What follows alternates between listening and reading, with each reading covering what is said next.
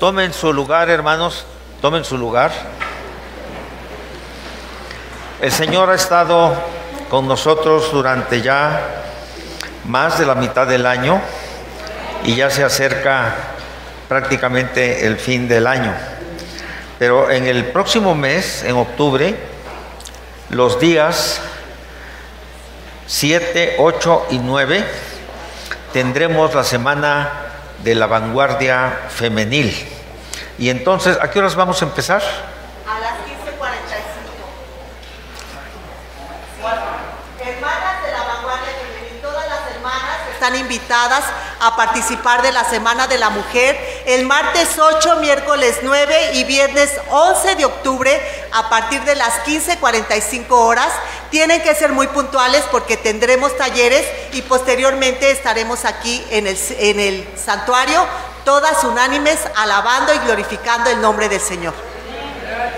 Gracias, hermana Yolita. ¿Están enteradas, hermanas?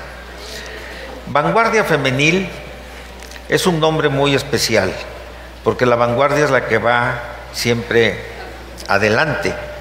Y hemos visto que en la iglesia, pues, la vanguardia efectivamente va adelante. Si usted es hermana que asiste a esta clase general, se le invita particularmente a usted para que venga a esta semana de la vanguardia femenil. Vendrán presbiterios como misiones, el centro metropolitano y tengo entendido que Puebla. Vamos a hacer nueve presbiterios, diez presbiterios. Diez presbiterios. Gracias, hermana Yolita. Vamos a leer la palabra del Señor. Evangelio según San Lucas, capítulo 14, del versículo 25 al 33, de una manera alternativa. Yo leo el primer versículo. La palabra de Dios dice así. Grandes multitudes iban con él y volviéndose les dijo,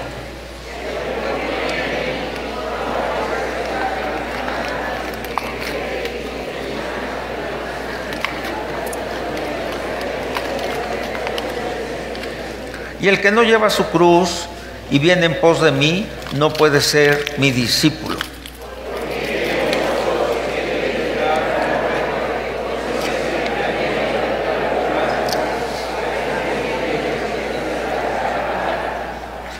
No sea que después que haya puesto el cimiento y no pueda acabarla, todos los que lo vean comiencen a hacer burla de él.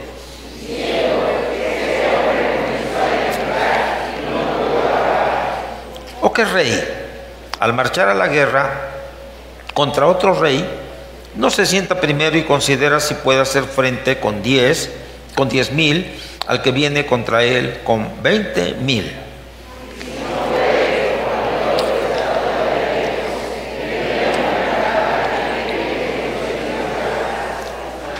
Así pues, cualquiera de vosotros que no renuncia a todo lo que posee, no puede ser mi discípulo. Tomen su lugar. Una parábola doble que empieza a partir del versículo 28. Una parábola doble, pero igual en contenido, aunque con diferencias. Es una enseñanza que invita a la prueba de sí mismo, semejante a la exhortación que hace el apóstol Pablo en la epístola primera a los Corintios capítulo 11, cuando trata acerca de la mesa del Señor, y dice que debemos probarnos cada uno a sí mismo. Esta enseñanza invita precisamente a la prueba de uno mismo. Un constructor que deja un edificio a medio construir. Un constructor que empieza con mucho ímpetu, con mucha fuerza, pero que todas las consecuencias de no prever lo que ha de hacer le lleva a terminar inconclusa la obra. Parece esto una contradicción, pero así la deja sin terminar.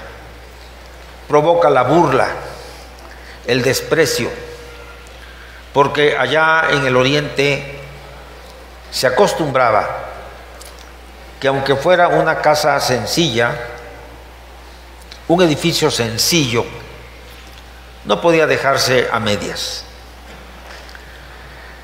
Un rey, también esto lo tenemos que contextualizar en el tiempo, cuando los reyes iban a la guerra. Un rey decide ir a la guerra, subestimando al enemigo o él sobreestimándose. Y ante la superioridad de su enemigo, él entonces se rinde. Por tanto, es motivo de reflexionar lo que está alrededor de las acciones y sobre todo de las decisiones que nosotros tomamos. Uno comienza a construir, pero deja las cosas a medias. Cuando las cosas se dejan a medias, es como si nunca se hubieran empezado.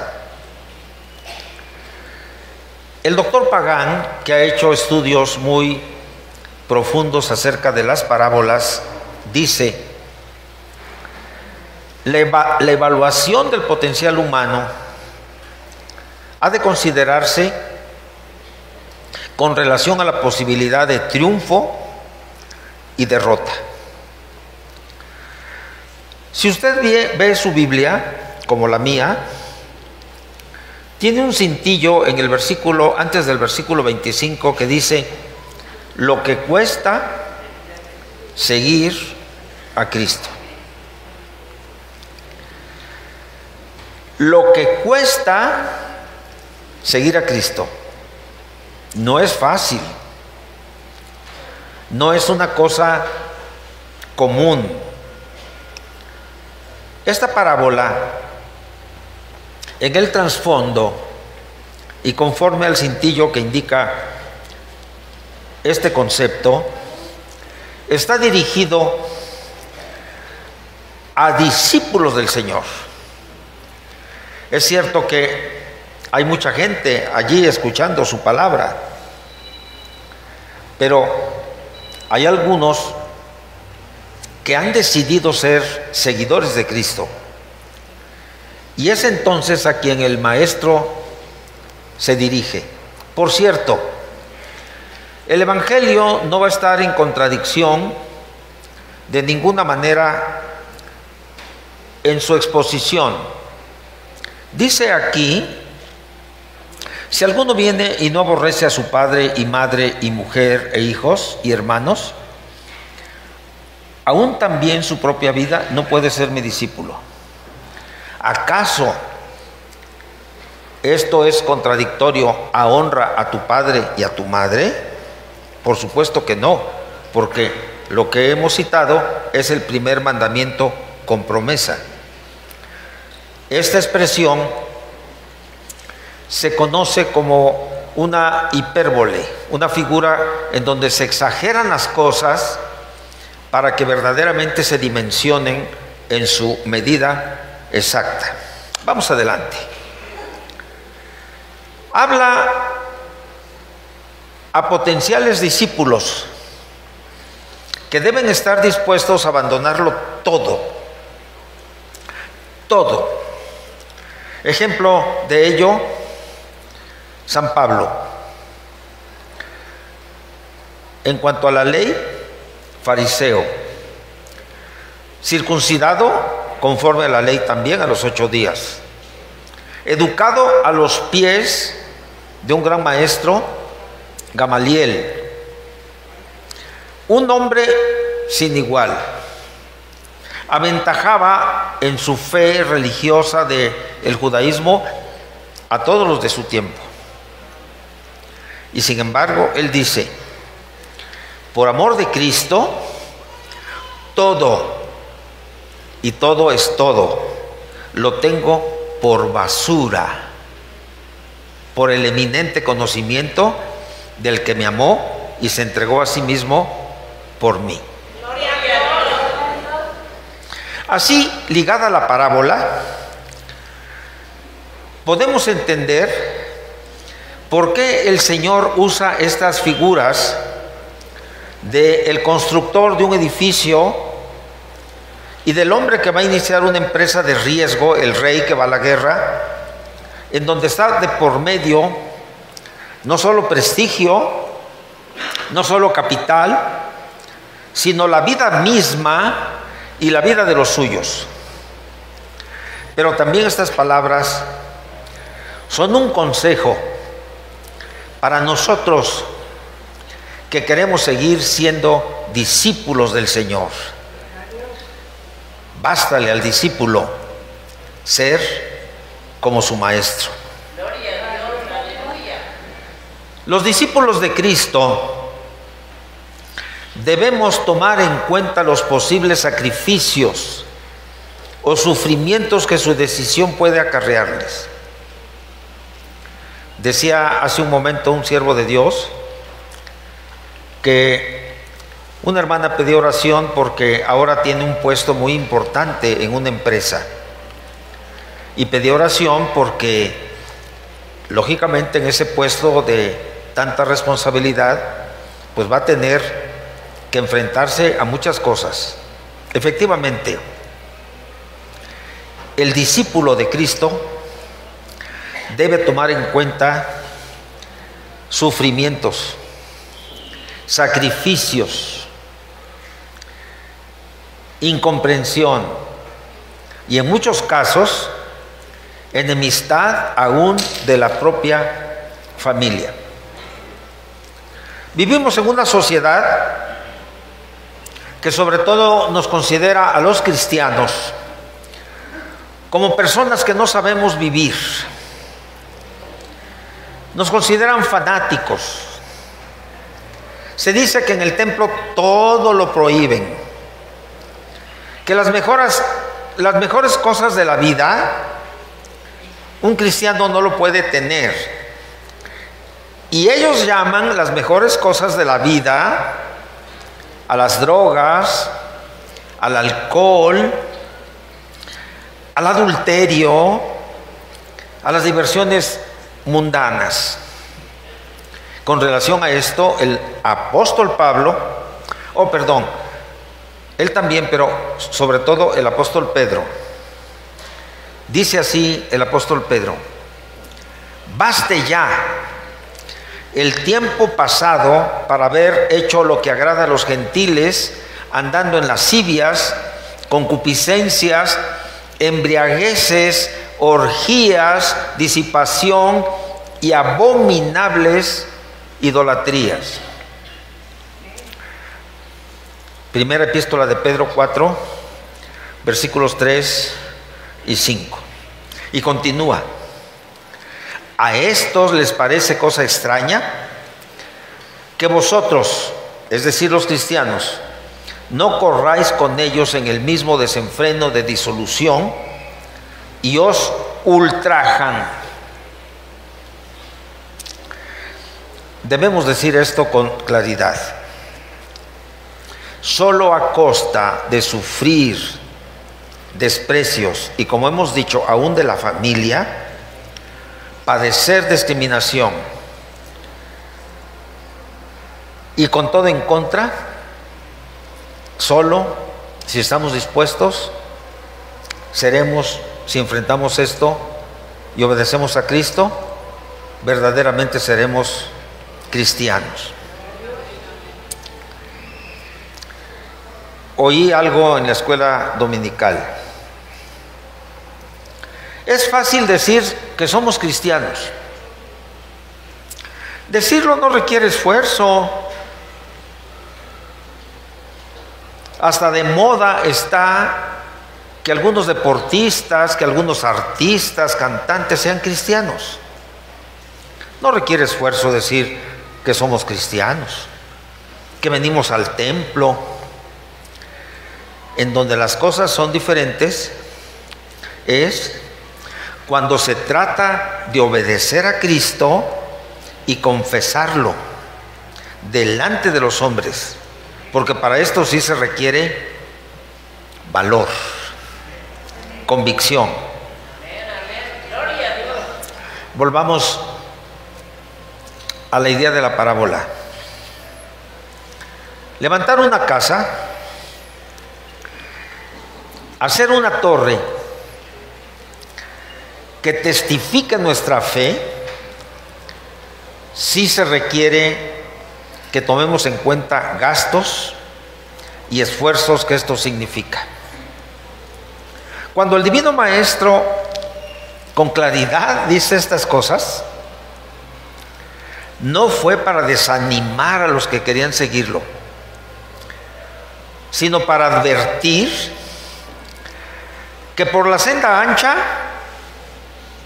todos caminan, por la senda angosta no todos pueden andar en ella. Para andar en la senda angosta se requiere decisión, voluntad, sacrificio, amor inquebrantable y fortaleza al Señor, fortaleza del Señor para todo lo que venga en el conflicto. Perdónenme por hablar ahora en primera persona. No viajo con frecuencia en el metro, solo de vez en cuando.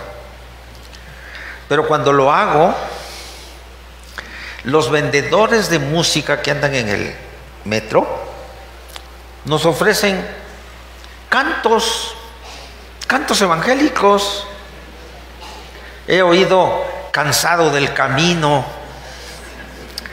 Y, y, sobre todo, me llama la atención esto, que mucha gente que va en el metro lo va cantando.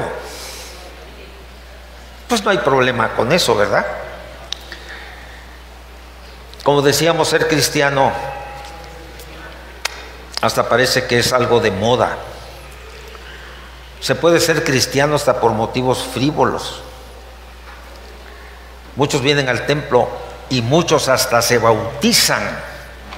Y decía el hermano Calderón, Daniel Calderón, cuando hablaba con los catecúmenos, yo no quiero diablos remojados, quiero verdaderos cristianos, decía él. Muchos dicen que son cristianos, pero cuando viene el problema o cuando viene la tentación, se doblegan y se apartan del camino. Y aquí está la aplicación. Dejan a medias, como el constructor de la torre, dejan a medias lo que habían empezado. Vale la pena considerar el costo de nuestras decisiones. Y ahora, esta es una digresión, pero aplicable a nosotros. A nosotros, los pastores. A nosotros, las pastoras. Debemos hablar claro a los que quieren seguir al Señor. Debemos con toda claridad decirles a los que vienen a ocupar las bancas de los, templos, a los que nos están siguiendo en las transmisiones, que no se deben hacer ilusiones.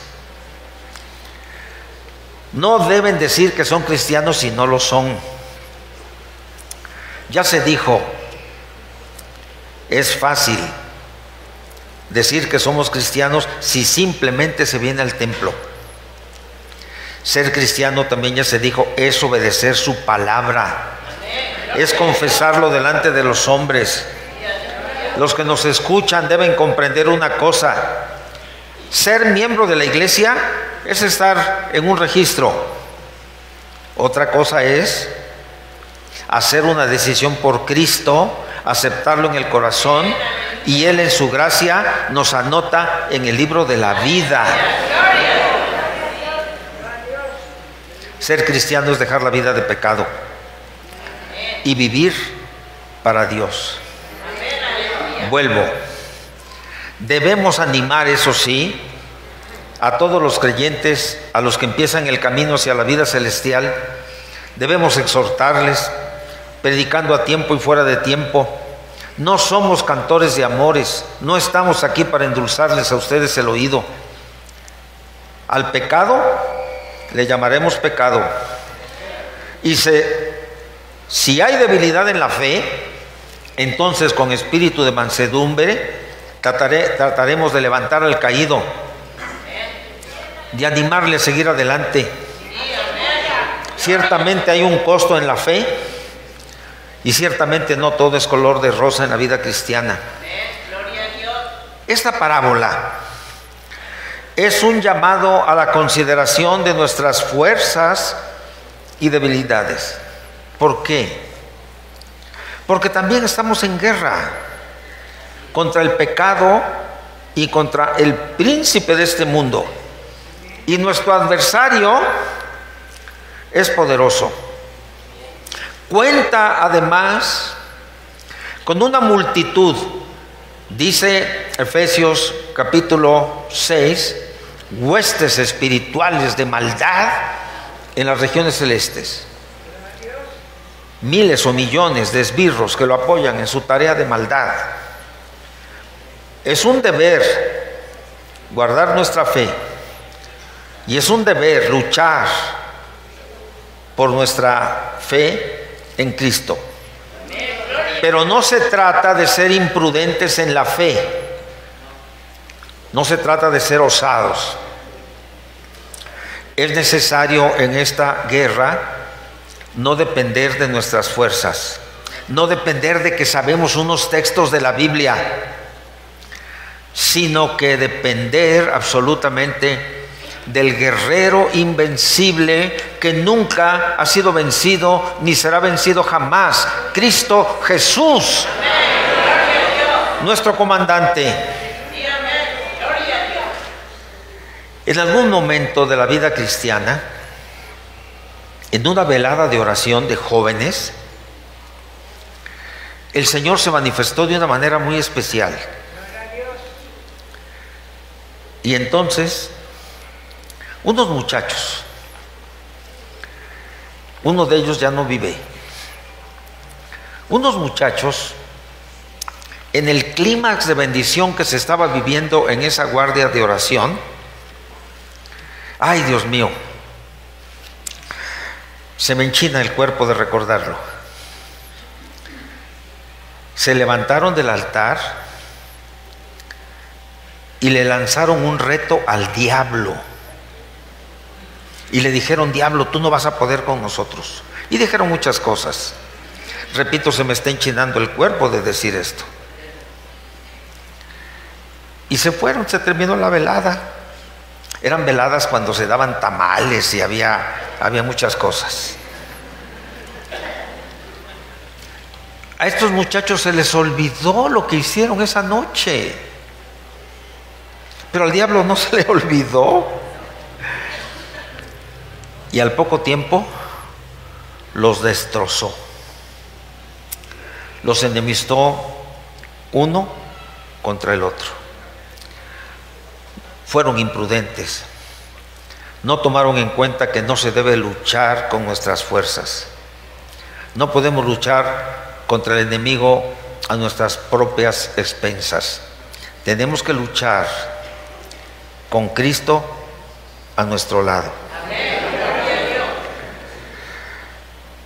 Debemos calcular el costo de lo que pretendemos construir, evaluar nuestras fuerzas, confiar en el que todo lo puede, mirar nuestra debilidad y clamar por el socorro divino.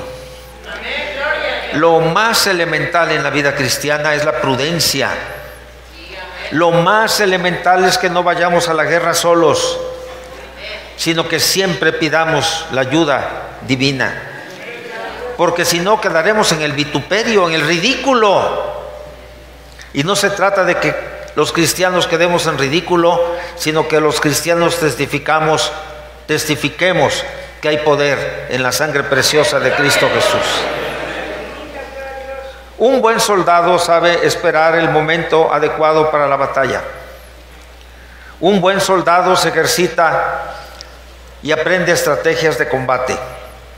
El creyente debe ejercitarse en ayuno y oración. Luchar así contra el enemigo. Solo de esta manera habrá éxito. El libro de los Hechos narra una triste historia, muy parecida a la que acabamos de narrar. Siete hijos de un hombre llamado Esheba. Capítulo 19, versículos 13 al 16 del libro de los Hechos. Estos hijos de este hombre, encontrándose con una persona posesa, dijeron, os conjuro por Jesús, el que predica Pablo. Os conjuro por Jesús, el que predica Pablo. Y entonces el espíritu malo que estaba en esa persona dijo, a Jesús conozco, pero ustedes, ¿quiénes son? Y dice la escritura que saltando sobre ellos los dominó, los desnudó, los hirió. Esto es elocuente y tiene relación con la parábola Nadie que va a hacer, que va a hacer guerra va a sus propias expensas. Hermanos, el tiempo se acorta. En cualquier momento el Señor nos llamará. En cualquier momento el Señor vendrá. Debemos estar dispuestos a renunciar a aquello que nos impide vivir la vida cristiana verdadera. Si usted quiere ser un verdadero discípulo, si usted tiene un sentimiento indebido o una posesión indebida, renuncia a ella y sin ninguna carga, siga a Cristo.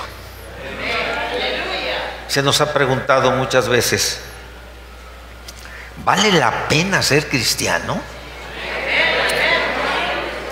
¿Vale la pena que en las fiestas de la familia ustedes no sean invitados? Vale la pena ser cristiano. En este camino hay muchas adversidades dentro y fuera, pero vale la pena ser cristiano. Y por lo que a nosotros resta, esperamos un día oír estas palabras. Bien, buen siervo y fiel. En lo poco has sido fiel, en lo mucho te pondré. Si alguno de los que están aquí todavía no es cristiano, lo invitamos a que sea cristiano. ¿Por qué se dice la palabra cristiano? Bueno, Cristo y es llevar. Los cristianos llevamos a Cristo en el corazón. Los cristianos tenemos a Cristo en el alma. Los cristianos vivimos con Cristo todos los días, a cualquier momento. Y Cristo es el todo de nuestra vida. Los cristianos, cuando nos enfrentamos a cosas muy difíciles, decimos siempre, lo repetimos siempre, todo lo puedo en Cristo que me fortalece. Vengan los cristianos a darle gracias al Señor. Vengan los cristianos a agradecerle que nos haya reconciliado con el Padre Celestial, nuestro Señor Jesucristo. Y también venga usted que todavía no es cristiano